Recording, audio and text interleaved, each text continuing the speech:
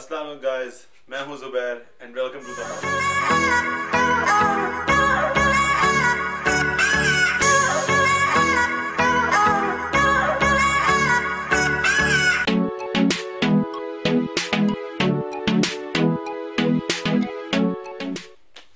So guys ये video मेरे दो सबसे बड़े पैशंस को मिला के बनाई गई है एक गेमिंग और एक स्टाइल जो उन्हें कुछ अर्सा पहले बनाई थी गॉड ऑफ़ वॉर पे रिव्यू किया था हमने गेम का उसी गेम से आप कुछ स्टाइल टिप्स बताएँगे आपको जो आपको उससे सीखनी चाहिए और करनी चाहिए। मुझे पता आप सोच रहे होंगे गॉड ऑफ़ वॉर से क्या स्टाइल आ गया?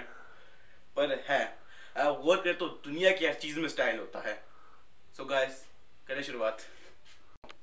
पहली चीज़ जो है build up your shoulders guys इसका मतलब ये है कि जैसा आपने पहला पार्ट अगर देखा हो गॉड ऑफ़ वॉर का, या पिछले पार्ट अगर आप खेल रहे हो क्रेटोस पहले अपनी अपर बॉडी पे कुछ नहीं पहनता था, लेकिन इस नए पार्ट में उसने एक अपर बॉडी वैसी पहनी थी जैसे हम कहूँगे इस भी ये लेदर जैकेट देख रहे हैं, इसकी ये चीज़, ये आपकी शोल्डर्स को थोड़ा ब्रॉड आपको चौड़ा, आपको मज़ेदार दिखाती है। मैं आपको कुछ एग्जांपल्स दिखाऊँगा कि अपने शोल्डर्स को कैसा बिल्डअप कर सकते हो। अब जैसे आप ये देख सकते हैं, ये आर्मी इंस्पायर कह सकते हैं प्रिंस कोड कह सकते हैं, ये जो चीज़ें हैं ना, ये आपके शोल्डर्स को ब्रॉड बड़ा दिखाती हैं। और आपके ओवरऑल एक्सटीरियर को इंक्रीज कर देंगे गाइस ये मतलब बेसिकली हमारा जो इसका मकसद है ना, इस वीडियो का या इस show build up your shoulder and that thing जो है ना मकसद, वो आपके शोल्डर्स को ब्रॉड दिखाने का, आपको थोड़ा मस्कुलर दिखाने का है। यार, मैं आपको सबसे बड़ी टिप दूँगा जो सबसे बड़ी टिप है, यार, थोड़ा वर्कआउट कर लो, थोड़ा शोल्डर वर्कआउट करो, उससे भी शोल्डर्स में बहुत फ़र्क पड़ता है। कपड़े is a great way to enhance your shoulder look broader but the number one thing you can do is work so guys अगर आप मेरी तरह और आपकी जर्नी जो है बॉडी बिल्डिंग में काफ़ी दूर की है और आप फिर भी मस्कुलर अच्छे दिखना चाहते हैं तो, तो मैं कुछ और आइटम्स दूँगा जो आपके शोल्डर्स को अच्छा कर देती हैं क्योंकि समर है तो पहले आप टी शर्ट्स की जगह टी शर्ट अच्छी होती है ये नहीं कहना ना पहने पर साथ बटन अप शर्ट्स पहने शुरू कर बटन अप शर्ट के शोल्डर्स को थोड़ा सा एक ब्रॉडर कर देते हैं बड़ा दिखाते हैं क्योंकि कॉर्नर होता है काफ़ी एक मस्कुलर लुक लुक देती है और दूसरी बात मिलिट्री इंस्पायर्ड क्लोथ पहनना शुरू कर दें। इस तरह एल्डो पैचेस होते हैं वो चीज़ होती हैं। वो बहुत अच्छी लगती है और आपके शोल्डर्स को काफ़ी इनहेंस कर देते हैं। जैसे आप लोग ऑफ़ कोर्स जानते होंगे कि क्रेटोस का जो कलर होता है, उसकी बॉडी का वो होता है red and white second thing is that the power of red and white the combination of red and white is awesome मैंने बोल के जो रेड एंड व्हाइट का जो था कॉम्बिनेशन बहुत अच्छा है। क्रेटोस का जो होता है कलर उसकी पूरी बॉडी का होता है रेड उसमें पेंट टैटू होता है व्हाइट बाकी उसकी पूरी स्किन होती है। वो बहुत अच्छा लगता है उसमें वो रेड वाइट का कॉम्बिनेशन कुछ और फिर रेड आपने चीज़ों पे एलिसन व्हाइट बटन ऑफ़ शर्ट पे एलिसन जस्ट स्टीकर चेंज कर लिया। ये तो पूरी एक होता है ना कलर ब्लॉक जो होता है वो रेड एंड व्हाइट का बहुत मज़ा आता है, उसका जो है ना बहुत प्यारा एलिमेंट है वो। सो ऑफ़ कोर्स मैं आप लोगों को रिकमेंड करूँगा कि वैसा ज़्यादा रेड एंड व्हाइट का साथ पहनना शुरू कर दो। गाइस मोस्टली मैं लड़कों को देखता हूँ ना, वो रेड के साथ ब्लैक पहनते हैं। वो मतलब ब्लैक के साथ कलर्स को मैच करेंगे मैं आपको रेकमेंड करूँगा व्हाइट के साथ कलर मैच करो। व्हाइट पहनना मुझे पता है बहुत मुश्किल है। लेकिन जो सबसे ज़रूरी चीज़ हम स्केटों से सीखते हैं ना, वो है कलर ब्लॉक करना।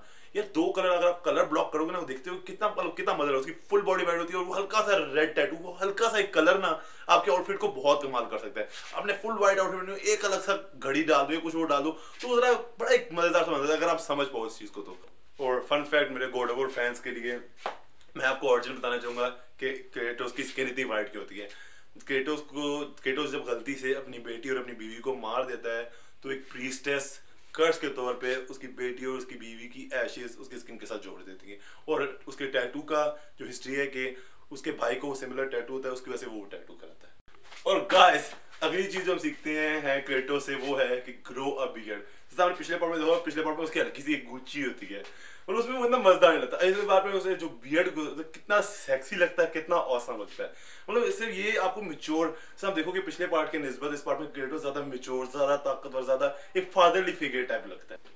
सो गाइस बीएड का मैं मानता सबसे बड़ा फ़ायदा है ना, आप काफ़ी मस्कुलर काफ़ी मैनली तो कि जितनी भी लड़की से पूछा जाए कि मैस्कुलर आती है, और बीएड का ये मतलब नहीं कि नेक बियर्ड और ये एक मेंटेन्ड बियर्ड ग्रोइंग जिस तरह क्रिप्टोस के देखते हो, हमेशा एक एजिंग अच्छी हुई होती है। वैसे कभी करते हुए नहीं दिखाते हैं पर वो करता होता है।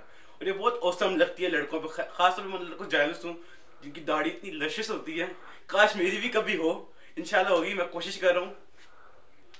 भाई, ये उम्मीद पे दुनिया कायम है और मेरे दुआ ज़रूर करना। अगली जो चीज़ है हम गॉड ऑफ़ सीखते हैं वो है कि अपग्रेड योर स्टाइल जैसे हम देख सकते हैं इस पार्ट में इन्होंने नई चीज़ आई थी क्रेटोस अपना आर्मर अपग्रेड कर सकता है। उसका बेटा भी सॉरी अपना आर्मर ग्रेड अपग्रेड कर सकता होता है।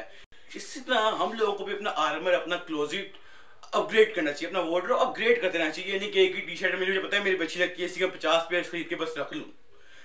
हाँ वो वो जो अच्छा लगता है, पर आपको पता हो पर वो न्यू एक्सपेरिमेंट्स करने चाहिए, अपने तरह ऐसा ट्यूटर्स अपग्रेड करते हैं, उसकी स्ट्रेंथ बढ़ती है, उसकी वीकनेसेस कम होती है, उसी तरह तरह आप कुछ शर्ट आपके शोल्डर अच्छे करती है, आपकी चेस्ट को अच्छा दिखाती है, आपका पेट कम दिखाती है, इसी तरह ये भी कपड़ों को अपने अपग्रेड करने से आपकी वीकनेसेस कम होती है, आपकी स्ट्रेंथ ज़्यादा होती हैं। और गाइस अगली चीज़ जो हम क्रेटो सीखते हैं, वो है कि always have a style weapon जैसा मेरी ये घड़ी है सर आप क्रेटोस को देखते हो, उसके पास हर वक्त वो एक्स होता है। मतलब आपके पास एक ऐसी चीज़ है स्टाइल वेपन वो चीज़ है कि आप अगर पूरे आउटफिट में अगर आपने वो एक चीज़ पहनी हुई है ना तो आपके अंदर, आपको उस चीज़ में कॉन्फिडेंस है कि ये मुझे बचा सकती है। ये चीज़ मेरी किसी भी आउटफिट को बेहतर कर सकती है। स्टाइल वेपन आपका वो हो मतलब स्टाइल में कोई भी चीज़ हो सकती है आपके ग्लासेस हो सकते हैं, आपके बाल हो सकते हैं it could be anything so guys मेरे ख्याल से जो आपका स्टाइल वेपन होता है, वो कोई भी चीज़ होती है सब बड़े भाई ने बोला है तो मैं बोलता हूँ, मेरा स्टाइल वेपन है मुझे लगता है मेरी ग्लासेस है।